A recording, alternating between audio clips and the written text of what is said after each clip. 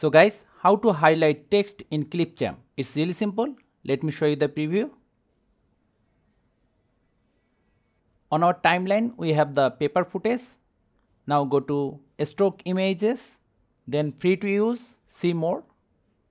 Scroll down. As you can see here, we have a lot of solid colors. Now suppose we want to mark our text with this color. For that, just left click, drag and drop over the timeline give the layer same length as our video clip.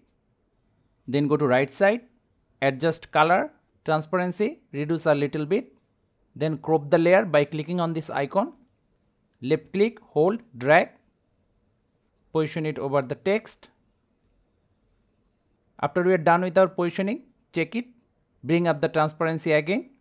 Now change the blend mode to darken or multiply. Let's choose multiply now to highlight other lines, just duplicate this layer, Ctrl C, Ctrl V, then move the cursor over the line and drag it to the second line. Do the same thing for the third line, Ctrl C, Ctrl V, duplicate, left click, drag it to the third line.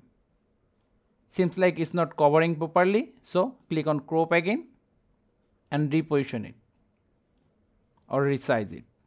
After you are done, just check it. Now to highlight the lines one by one, give them some space. Select the layer, fade, fade in like for one second. It's up to you how fast you want them to fade in. And we are done. And if you think they are too dark, you can select the layer, then change the transparency a little bit so guys, that's how easily we can highlight text in Clipchamp. Thank you guys for watching. Have a good day.